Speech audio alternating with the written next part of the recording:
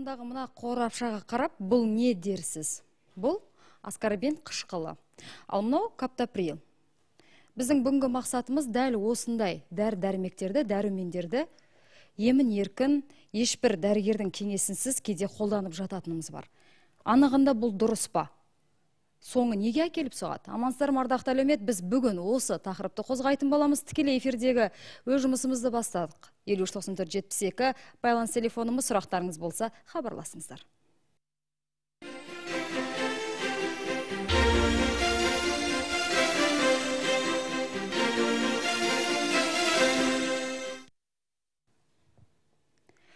Тақырыпқа орай студия қонақтарымен таныстырып өтейін. Бүгін бізде қонақта оңтүстік Қазақстан мемлекеттік фармацевтика академиясының білікті медицина ғылымдарының докторы, профессор Орманов Намазбай Жаппарұлы. Сонымен қоса фармакология фармакотерапия және клиникалық э, фармакология кафедрасының меңгерушісі медицина ғылымдарының докторы профессор керімбаева закира әмірқызы мамытбекова күлпан жолдасбекқызы фармация ісін ұйымдастыру және басқару кафедрасының аға оқытушысы фармация магистрі сонымен қоса досқараева парида төребайқызы қоғамдық денсаулық сақтау кафедрасының доценті. Тиісті сала мамандарының барлығын көріп отырсыздар қымбатты телекөрермен біздің студиямызда. Сондықтан бүгінгі тақырыбымыз қызық болады деген үміттемін. Белсендірек болсаңыздар сіздердің де сауалдарыңызды қабылдап жарты сағат уақытта үлгеруге тырысамыз. Қош келдіңіздер. Біздің бүгінгі тақырыбымыз дәрі дәрмекті тиімді пайдалану. Жалпы тиімді пайдалану дегеннің өзін қалай ұғынуымыз керек? Осыдан бастайықшы әңгімемізді қазіргі кезде елбасымыз еліміздің денсаулық сақтау саласына аса назарын аударып отыр. Жаңа медициналық құрал жабдықтарға жоғары технологиялық медициналық көмекке сапалы дәрі дәрмектерге қыруар қаржы жұмсалуда. Сапалы медициналық көмек көрсетуде көрсету саясатын дамытуда ұтымды тиімді дәрілерді мен қамтамасыз етудің маңызы өте жоғары. Ұтымды немесе тиімді дәрі дәрмектерді қолдану дегеніміз не? Яғни науқасқа ол эффективті қолжетімді қауіпсіз оңтайлы дәрмек беру болып табылады. Дәрілік заттарды тиімді пайдалану барлық елдерде өзекті мәселелердің бірі болып табылады. Дүниежүзілік денсаулық сақтау сарапшыларының бағалауы бойынша қазіргі кезде барлық дәрілердің жартысынан көбі дұрыс тағайындалмайды. Науқастардың жартысынан көрі дұрыс қабылдамайды екен. Демек дәрі дәрмектерді шамадан тыс ретсіз тиімсіз қабылдау бұл адам денсаулығына қауіп төндіреді. Сонымен қатар салалық шектеулі ресурстардың азаюына әкеледі екен. Яғни бұған қандай себептер бар да алып келетін? Жыл сайын жаңадан ондаған дәрілер өмірге келіп жатыр. Сонымен қатар дәрі дәрмектердің санының көп болуы дәрмек эффективтілігі мен тиімділігі дәлелденбеген дәрмектердің айналымда көп болуы жаңартылған препараттар санының молдығы сапасы бойынша күмән келтіретін деректердің көптігі әрі нақты ә, сонымен қатар ә, жосықсыз жарнаманың да болуы. Міне осының бәрі ә, денсаулық сақтау саласының маманына дұрыс шешім қабылдауға қиындық соқтырады. Закира әмірқызы жаңа айтып қалдыңыз иә бұл ә, жарнамалық әсіресе жарнамада жиі көрсетілетін ә, дәрілерді пайдалану ол әрине егер біз оның оң нәтижелігін білмейінше ә, тіпті дәрігерлердің өзін қазір жаңылыстырып жатыр деп соңғы уақытта біз білеміз әсіресе ә, суықтап қалған уақытта тұмауға ұшырағанда көбінде ата аналар өз бетінше ем қабылдағаны бір бөлек. Дәрігердің алдына педиатрдың немесе терапевттің алдына барған кезде тағы да бір басқа дәрілерді жазып береді. Үйіп төгіп тізбесі деген енді айтуға мүмкін емес. Кейбір дәрілердің ішін алып қарасақ ол тіпті герпес ауруына пайдалы немесе басқа да вирусты ауруларды өлтіруге пайдалы деп өте ауыр дәрілерді жазып береді. Мұндайда не істеу керек? Сұрағыңыз өте орынды. Әрине тиімсіз дәрілерді қолдануға не жатады да? Ол ең алдымен дәрі дәрмектерді мақсатсыз негізсіз қолдану. Бір уақытта көптеген дәрмектің санын қолдануда жатады. Сонымен қатар ә, жаңа айтып өттік қолдану көрсеткішінсіз негізсіз дедік. Міне жаңа айтып отырсыз вирустық инфекцияларда антибактериалды препараттарды қолдану деп отырсыз. Қазіргі кезде денсаулық сақтау министрлігінің министрлігінен антибиотиктарды рецептсіз босатуға тыйым салынып отыр. Э, яғни бұл бұл топтың дәрмектері сырқаттарға дәрігердің тағайындалуымен рецепт арқылы босатылуы міндетті болып табылады. Сонымен қатар тек қана қолдану көрсеткіші емес сонымен қатар дәрмектерді тағайындауда қолдануда міндетті түрде олардың жанама әсерлерін жас ерекшеліктерін әрі біз бір ғана дәрі қабылдап қоймаймыз. Бірнеше дәрі қабылдаймыз да міне осы бірнеше дәрі қабылдағанда міндетті түрде олардың өзара әрекеттесулерін ескеруіміз қажет екен. Сондықтан да көпшілігінде бұл қай жағдайларда болады тиімсіз қолдану? Мынау басым көпшілігінде бұл науқастардың өзін өзін емдеу барысында кездеседі жиі кездеседі. Сондықтан да міндетті түрде кез келген науқас дерт болған жағдайда сырқаты болған жағдайда дәрігермен кеңесі кеңесудің орны өте зор болып табылады. Э, дәрі дәрмек өте көп. Сонымен қатар әрбір дәрі әр ағзаға өзінің түрлі әсерін береді екен. Біздің дәріні қабылдауымыз да өзіндік э, бір ерекшеліктермен сипатталады екен да. Мысалы біз айтамыз көптеген антибиотиктарға аллергиялық реакциялар бар дейміз. Міне сезімталдық әр адамда әртүрлі. Оны енді сезімталдықты әуелі бақылап алады тексеру керек. иә арнайы оның өзінің ережелері бар. Иә соның бәрін осы сұрақтарды дәрігермен кеңесе отырып науқас өзіне шешім қабылдауына болады екен. Намазбай жаппарұлы жаңа айтып жатыр иә оның барлығын тексеру керек дәрігердің кеңесін алып барып жасау керек. Дұрыс. Тағы да бірде бізде түсініспейтін бір жағдай бар. Ол кейбір дәрігерлер сізге әуелі оның бастапқы кішкене ғана саған кері реакция беретін жағын қарастырмайды толыққанды осы дәрін ішу керексіз деп жазып береді. Мысалы алайық ампицилин. Қарапайым ғана иә? Барлық суыққа барлық неге пайдалы антибиотик деп айтамыз. Бірақ ампицилин кейбір адамдарға кері әсерін береді. Оның арнайы жаңағы дәрумендері де дәрілер екпе жағдайында емес дәрі кезінде де мысалы ішке пайдаланған. Ол зиян кейбіреуге кәдімгідей кері реакциясын беріп жатады. Сол секілді цифазолин бізде қазір тіпті жиі қолданылады. Аксамп шығып жатыр. Аксамп пен цифазолиннің айырмашылығы не деп дәрігерлерден сұрасаң кейбіреулері басқаша айтады кейбіреуі тағы басқаша айтады. Мұндайда қалай ажыратуымыз керек? Біріншіден қазір біз енді қазақстан республикасы өте өркендеген елміз ғой. Баяғы студент кезімізде бары жоғы тоғыз ақ дәрі болатын. Республикада. Қазір қазақстанда жиырма екі мың алты жүз сексен алты дәрі қолданады. Өте көп. Екіншіден дәріні осы уақытқа дейін әйтеуір ретсіз қолданды. Үшінші дәріні жаңағы емдік ретінде қолдану керек оңтайлы қолдану керек. Шетелдерде дәріні дұрыс қолданбаған арқасында шетелдерде болгарияда германияда басқа жерде дәрілік аурулар деген сабақ жүріледі арнайы бар. Болезнь деген. Кітап бар сабақ жүреді себебі дәріні дұрыс емдегеннен кейін көптеген аурудың бәрін дәрі ұшындырады немесе өз дәрі дәріден шыққан ауру пайда болады. Оның бәрі біз әлі науқасты дұрыс тиімді емдеуді әлі жоғары деңгейде білмейміз. Оны білу керек.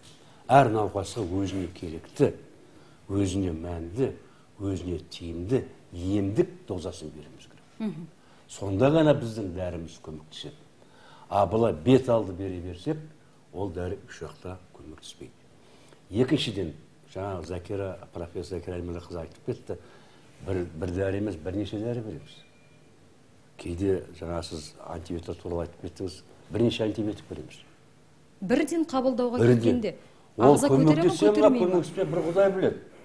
Ал ол дәрі көмектессін әрқайсысының өзінің әсер ететін нүктесі болу керек. Егер екі дәрі бір нүктеге әсер етсе ондай дәріні берудің қажеті жоқ. Әр антибиотиктің өзінің әсер ететін нүктесі бар. Цитохромдық жүйеде. Міне сонда ғана ол адамға ем болып табылады. Мен енді дәрігерлерді өте сыйлаймын өзім де дәрігермін. Бірақ көп дәріні біз көзді жұмып әйтеуір көмектесіп ойлап береміз. Жарнамалық мақсатта өткізу үшін де ол деген пайдаланатындар біріншіден науқасқа өте зиян. Емдік қасиетін жоғалтады. Үшіншіден көп дәріні ретсіз қолданған кейін дәрілердің жаңағы закирам айтқандай өзара әсерлесу серпілістері болады. Соның арасында дәрі өзінің белсенділігін жоғалтады. Екіншіден оның улық уыттылық қасиеті жоғарылайды. Сөйтіп біз науқасты емдемей керісінше оның жасырын жүріп жатқан патологиялық серпілістерді ұшындырамыз. Міне мәселе қайда ұшындырамыз. иә? Міне ең жаман нәрсе осы. Соған байланысты қандай дәріні берсек те ойланып он рет ойланып жүз рет өлшеп беруіміз керек. Сонда ғана біздің еміміз қолданады. Бұл өте үлкен мәселе. Екіншіден біздің президентке мың да бір рахмет. Әйтеуір дәріні ауруханаға беріп жатыр. Қанша керек деген. Ол қанша ысырап. Ысырап деген білесіз экономия жоқ. Негізінен мысалы бір алайық ә, жүректің ишемиялық ауруы бар оның төрт ә, сатысы бар сіз менен жақсы Иә. білесіз. Төртінші сатысында төрт ақ дәрі береміз. Төрт ақ дәрі ал егер науқастың жаңағы тарихын қарасаңыз төрт емес он екі он үш дәрі сонда сегіз тоғыз дәрі қор бекерге беріліп жатыр ол деген біздің өкіметке төлеп жатқан біздің жаңағы не дейді ақш- ақшамыз. Үнемдемейміз оның бәрін қор бекерге желге лақтырып тастаған нәрсе міне соны ойлану керек қазақстан республикасы бай өркендейтін ел бірақ енді бізде немістер сияқты өте тиімді оңтайлы емдеуіміз керек олар әр ауруды емдердің алдында науқастың сол дәріні қабылдайтын қасиеті бар ма жоқ па бар болса қандай дозада беру керек деп сол науқастың жаңағы палатасында койкасының қасында төсегінің қасында анықтайды. Міне сонда бұл дәрі өзінің емдік қасиетін жоғары деңгейде көрсетіп Дұрыс айтасыз. ешқандай жанама әсерлер болмайды. Екінші дұрыс емдегеннің арқасында мына дәрілердің жанама әсерлері өте көп көбейіп те келе жатыр. Мысалы өкпе туберкулезін емдейміз біз жақсы емдейміз өте жақсы емдейміз. Бірақ көп дәріні бергеннен кейін ол науқастар ауылына қайтқанда бауырдың зақымдануы орталық жүйке жүйесінің за- зақымдануы асқазанның за- зақымдануы он екі ішектің арасында эрозия немесе жара пайда болу қасиеттермен жібереміз. Иә. ауырып бұл жерде ешқандай емес жаңағы виноват деген еді. Не емес Кінәлі кінә кінәлі емес. Бұл жерде емдеуші дәрігер кінәлі. Ол науқасты қандай тип типін анықтау керек? Күшті тип па орташа тип па? Әсердеу типін анықтау сөйтіп оған керекті өзінің нағыз керекті досын беру керек. Сонда дәрілердің жанама әсерлері болмайды. Міне негізгі қасиеттер сол. Шетелдің бәрінде науқасқа дәрі беру үшін алдымен оның қандай тип қандай ә, тотығыштық тип екенін анықтап содан соң өздерінің есептеген есеп, есебімен әр науқасқа өзіне тәнімді керекті ә, ерекше дозасын өлшеп береді. Сөзіңізді жандандырайын. Бізде жаңағы салмағы 120 килограмм екінші салмағы 60 килограмм бәріне бір таблетка күніне үш рет береді. Дұрыс айтасыз. Балаға да соны береді. Жаңағы білгіш болса тіпті ата аналар осыған байланысты қарсы дауды айтып жатса дәрігерлер кейде ә, шамданып қалатындары бар арасында. Дұрыс қой. енді. енді сөзіңізді жандандырып айтайын. Мәскеуде мәселен ә, аспа енді тамақ ауырады тамақ ісінеді ғой балаларда. Сол жағдайда ол неге осы ангина не себептен шықты? Бірінші сол сұраққа жауап іздейді екен. Екіншіден арнайы лабораториялық бір емес бірнеше тексеру болады екен. Бұл ангина неден шықты? Басқа ағзаның себебі ба суықтан ба? Әлде иммунитеттің әлсіреуі ма? Ал бізде оған қарамайды. Мұны мұндай біліктілікті арттыру үшін не істеуге болады? Дәрігерлер оқымады емес оқып жатыр. Жеті жыл тоғыз жыл. Одан қосымша ары қарап оқитындары бар. Дұрыс Бәрі бірдей емес сізге бір ырза болып отқан өте үлкен деңгейде айтып отырсыз бізге үлкен жол көрсеттіңіз. Жаңағы баспа деп отырмыз ангинаның бірінші себебін білу керек себеп тануын білу керек. Қайдан пайда болды неден пайда болды? Сосын ол қалайша ары қарап жүреді? Оның ағымы ағымын білу керек. Сөйтіп ем дайындауымыз керек. А көзді жұмып жаңағы ә, кітаптан алып болмайды. Екіншіден білім керек дәрігер білікті керек. Мен фармакология пәнін 1900 алпыс алпыс тоғызыншы жылдан бері оқимын фармакология пәнін. Бірақ мен фармакология пәнін жақсы білемін деп айта алмаймын. Себебі жаңа мәліметтер көп. Күнде жаңа мәліметтер дәрі көбейіп жатыр. Өте мәлімет көп. Оның бәрін қарау керек оның бәрін еске сақтау керек. Сол үшін а балдарды оқытқанда баяғы күй баяғы баяғы берген алпыс сағаты бір мың тоғыз жүз алпыс алтыншы жылы. Сол сағат осы күйінше қалып жатыр қалады а дәрі он жиырма есе өсіп кетті. Оның бәрін сабақ кезінде балдарға түсіндіру мүмкін емес. Сол үшін келешек жақсы боламын деген дәрігер күні түні машковскийдің басқа фармакологиялық сабақтардың бәрін алып күні түні оқу керек. Сонда ғана ол білікті өркенді ақылды нағыз дәрігер болады деп бізге хабарласқан көрерменіміз бар. Қабылдап үлгерейік. Амансыз ба? Сіз эфирдесіз сұрағыңызды қоя берсеңіз болады. Аха рахмет. Мен давлениемен ауырамын да қазақша қан қысымы деп айтады ғой. Осыны қаншама бізге дәрілер ана тегін дәрілерді береді рецептте болу керек. Соның ешқандай көмегі жоқ қаншасын ішіп жатыр мен осы көктемнен бері қарай осы немен ауырамын да. Соны сұрайыншы деп едім ол дәрі неге береді бізге көмегі жоқ сіз ә, желіні қоймай тұрыңыз. Біздің көрерменімізге сұрақтарыңыз бар ма? Егер болса байланысқа түсуге болады. Енді ол ә, қан қысымы жоғары деп отыр. Жаңағы ә, құрметті ағай бола ма? Жолдас көрермен ә, оны білу үшін қандай дәрілерді қазір бір минут сұрайық қандай дәрілерді пайдаландыңыз? Ол мен оны ұмытып қалдым нелерін. Қанша түрін пайдаландыңыз? Көктемнен бері қарай деп отырсыз?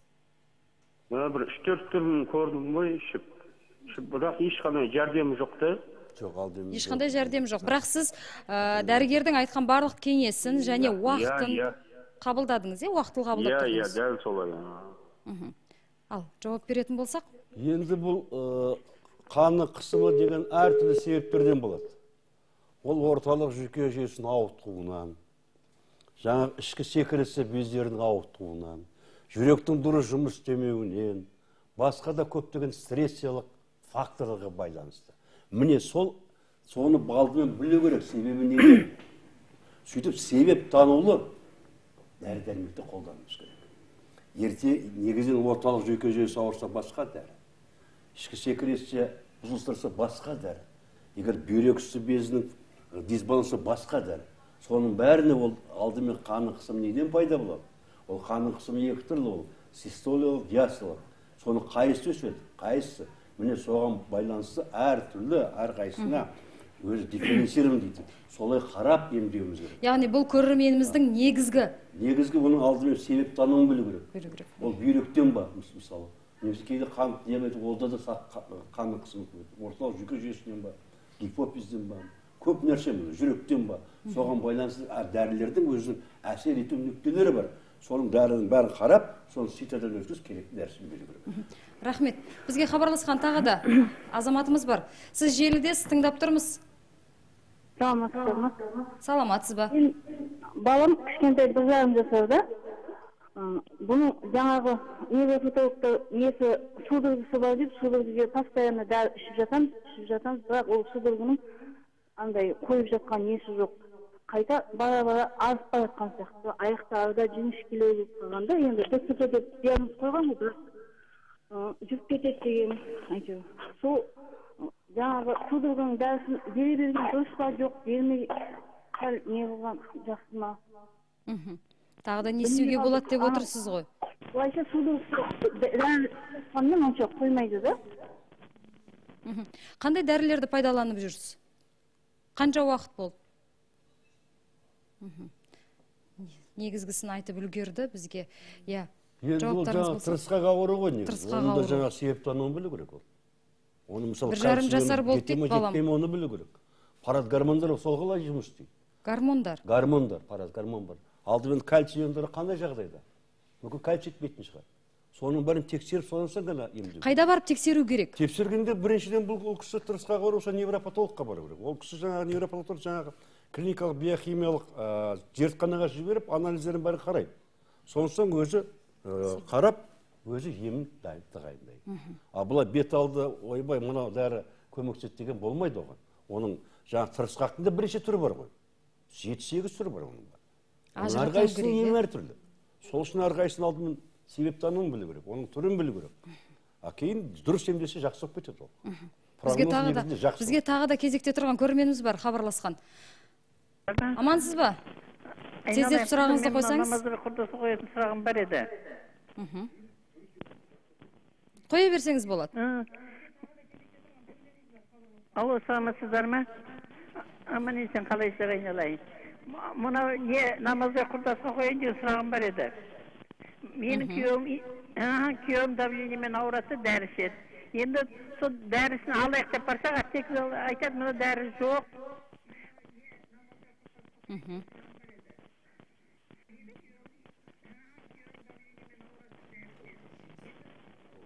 Иә иә айта беріңіз.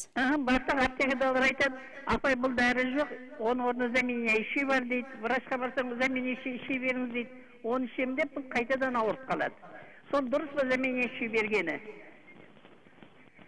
түсінікті ма сіздерге? Сұрағы. Айта беріңіз сіз жаңағы ғой да айта кететін нәрсе ә, қазақстан денсаулық сақтау министрлігінің жетпіс жеті жүз алпыс алтыншы бұйрығына сәйкес 2015 жылы шыққан ә, тегін науқастарды тегін дәрі дәрмекпен қамтамасыз етудің кепілдік көлеміне ә, сәйкес біздің елімізде ә, 37-ге жуық ауру түрлері және республикамызда сирек кездесетін 15-ге жуық тағы қосымша науқастарды тегін дәрі дәрмекпен қамтамасыз ету ә, жаңағы нұсқаулығы бар. Сол нұсқаулыққа сәйкес бізде бүгінгі таңға әлеуметтік тұрғыдан жағдай жақсы қамтылмаған науқастар тегін дәрі дәрмекпен қамтамасыз етілу керек. Енді Ә, оның бұл- пайдасын көріп отқан жоқпын дейді иә? Керісінше әсер етіп ауру асқынып ауру асқынып жатқан сияқты. Жалпы бұл дәрі дәрмектік формуляр ә, әр жылдың басында белгілі бір комиссия белгілеп отырады. Комиссия бұл формулярды белгілеген кезде әр науқастың ауру тарихына сәйкес дұрыс белгіледі ма? Ә, дәрігерлер дұрыс белгілемеді ма? Қандай ә, жаңағы анализдер биохимиялық анализдер тапсырды? Соның нәтижелері қандай? Соның бәрін сарапта келіп формулярлық тізбек құрайды. Осы формулярлық тізбекте дәрі дәрмектер негізгі дәлелді медицинаның нәтижелері бойынша тізімге алынады. Бұл яғни оригиналды препараттар барлығы. Ал өкінішке орай қазір біздің еліміздің саясатына сәйкес өзіміздің елімізде шыққан отандық дәрі дәрмектерді біз нарыққа шығаруымыз керек. Ол да екінші жағынан біздің саясатымызға сәйкес. Сондықтан көбінесе тегін дәрі дәрмекпен қамтылмаған уақытта толық жетпеген жағдайда бізде жаңағы емханалар немесе жаңағы дәріханалар оның дәрі дәрмектің ауыс, ауысатын жаңағы орнына басқа дәрі дәрмек беріп жатады. Оригиналды препараттар дегеніміз бар женериктер дегеніміз бар. Олардың әсер етуі ағзаға әсер етуі жағымсыз әсерлері барлығы бірдей. Диагнозының бәрі бірдей. Тек қана ә, оларда жаңағы клиникалық қосымша дәлелді медицинаның нәтижелері жоқ ә, болып табылады. Ал бірақ адам ағзасына әсер етуі ә, бірдей болып табылады. Енді бұл жерде айта кететін нәрсе қосымша тағы жаңағы биохимиялық анализдер қосымша медициналық консультациялар алу керек ә, диагнозды тура қою керек. Ә, сонымен қосымша тағы ә, нұсқаулықтар алу керек белгілер алу керек. Рахмет бізді күтіп қалған тағы да желіде азаматымыз бар. Саламатсыз ба? Сіз эфирдесіз біз сізді тыңдап отырмыз. Алло. Саламатсыз ба? Саламатсыз ба? Сұраққа көшсек. Менің ә, жасым жетпіс екіде. Тромбофилиттен больницада жатып шыққан а? Айта беріңіз дұрыс дұрыс. Қаным өте қою. Ә, бірде екіде қойылып қалады шпристен де шықпайды. Сұрағыңыз? Соны қалай сұйықту керек? Соны сұрап отырмын. Қалай құтылуға болады дейсіз ғой? Иә сіз дәрігерлерге бардыңыз ба арнайы өзіңіздің ә, я сосудистый сосудистый хирург э, это назначение берген. Э, тринтал по, поочередно клеить э, капать деп. Соны тромбоз іш деді тромбоз ішемін күніге хабарласқаныңызға рахмет. Жауап берсек? Енді ә, көп жерде ә, микроскоп на темном поле деген бар. Қараңғы жерде көретін микроскоп. Ол кісінің қанын алу керек. Сонда еритестер мен тромбоциттердің жаңағы өмір сүріп жатқанын көруге болады. Агрегация мен адгезия тромбоцитте қандай деңгейде жүріп жатыр? Соған байланысты дәрігер көрген шығар оның бар. Ол телевизорда көріп тұрады оны сақтауға да болады. Живой жаңағы қанды жүгіріп жүрген көрсетеді. Ә, бізде жұмыстар жасалып жатыр. Соған қарап дәріні ә, қарау керек. Ол әртүрлі трентал да болуы мүмкін жаңағы тромбоз да болуы мүмкін. Енді ол дәріні көп ішкеннен кейін оларда жаңа мәселе бар. Мен бұл кісіге айтайын дегенім жасы 82-де екен қазір осы көп жерде россияда қазақстанда мына ә, баяғыдан пайғамбар ем- емге пайдаланған жаңағы ә, пиявка дейді жаңағы аты не еді? Сүлік. Сол сүлікті па- пайдаланатын үлкен көптеген мекемелер бар. Гиродотерапия деп аталады олар москвада оқып келген өте. Соны барып көру керек. Себебі бұл кісінің айтуы сүлік салдырып келдік деп жатады ғой иә. агрегация мен адгезия өте жоғары деңгейде. Мына тек қана дәрілердің арқасында трентал жаңағы асетті салицил қышқылының арқасында қазір дұрыс болып тұрған шығар неге оны тексеру керек. Тексеріп қарау керек. Менің оны пәлен деп айта, айтамын менің про- ұсынысым. Бұл кісі жаңағы гематологқа көрініп жаңағы гиродотерапевтке көрініп жаңағы соны бір көруге болады. Себебі жаңағы медициналық ә, сүліктің өзі ә, дәрі бер адам тек қана қанын ғана сорып қоймай оның ішіне ә, құдай осы бір елу төрттен артық биологиялық активті заттар жіберді. Оның бәрі қанды сұйылтады. Қанның ә, қызметін жоғары деңгейде ұстайды. Одан соң қанда болған уытты улық заттардың бәрін жояды. Міне сондайды көрсе болады ғой деген менің ниетім бар. Бірақ мен оны заңды түрде айтып отқан жоқпын оның заңдылығын бәрін Ұсыныс. емдеуші дәрігер өзі шешеді. Өзі шешеді. Өте дұрыс орынды айттыңыз Ә, біз жарты сағат қана уақытта дәрі дәрмекті қалай тиімді пайдалану толыққанды қамтып өту мүмкін емес. Себебі алдағы уақытта бізде әлі де сұрақтар тіпті көп. Халық емін пайдаланған дұрыс па әлде? Дәрі дәрігерлердің кеңесіне жүгінген дұрыс па? Шөп дәрілерді қалай пайдалануымыз керек? Ә, одан басқа да бізде сұрақтар өте көп. Ә, осы тұста біз уақытты тиімді пайдаланып парида төребайқызы өзіңізден медициналық әлеуметтік сақтандырудың ә, осы аталған бүкіл ә, жағдайдың қорытындысы ретінде айтып өтекші бұл сақтандыруға тіркелу үшін жаңа айтып жатыр анау ә, дәрігерге көріну керек невропатологқа бару керек деп. Алдағы уақытта бұл медициналық әлеуметтік сақтандыру қоры азаматтың өзіне ерікті таңдау бере алады ма? Осымен хабарымызды қорытындылап үлгерсек. Ерікті сақтандыру міндетті әлеуметтік медициналық сақтандыру дегенді 16 жылдан бері айтып келе жатырмыз. Оны тұрғындар да білетін шығар. Дәрігерлердің барлығы біледі өздерінің поликлиникаларында емханаларында тіркеуге тұрып жатыр тұрғындар. Олар емхананы таңдауға мүмкіндігі бар. Енді жаңа тыңдап отырып қарап отырмын сұрақ қойған мына тұрғындардың да сұрақтарының барлығы сол сақтандыру медицинасы енген кезде өзінің шешімін сәл де болса табатын сияқты. Сапа Себебі- артады ондай сапа жағдайда. артады. Себебі оның ондай болатын себебі мен бір айтып кететін мысал мысал үшін дәрі дәрмекке бізде тегін кепілдендірілген дәрімен қамтамасыз ету медициналық көмекпен қамтамасыз ету деген бағдарлама бар. Ол жұмыс істеп жатыр. Сол бойынша біздің тұрғындарымыз науқастарымыз тегін дәрігерлік көмек сосын жаңағы дәрілік көмектер алып жатыр. Бірақ жаңағы артериалды гипертензия мен давлением бар деп ә, айтып жатқан тұрғындардың сұрақтарына қараған кезде есіме түсіп отқаны ә, неге көмектеспейді дейді? Намазбай жапарович барлығын айтып өтті. Ә, егжей тегжейлі.